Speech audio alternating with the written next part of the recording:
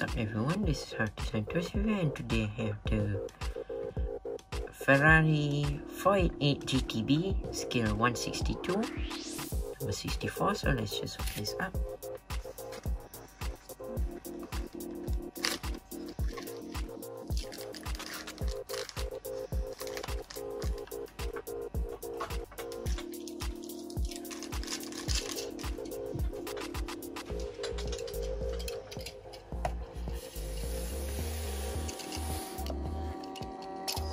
is the Porsche in red. Well, the front lights are basically um, they made it more realistic, so they used the pla uh, plastic part.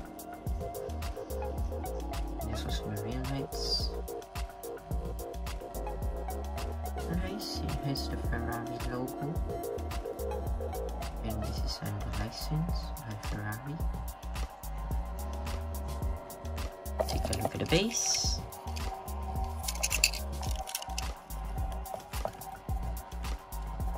Also, it's under license by Ferrari. So this is 162 scale made in Vietnam.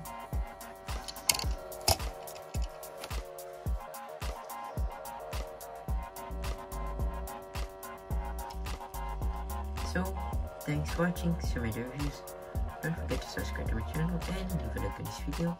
See you soon. Bye